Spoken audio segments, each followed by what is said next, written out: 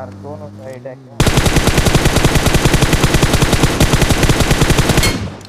Push डाल they push डाल दे number चार उधर पुश डाल दे। वो फीलिंग थी बहुत से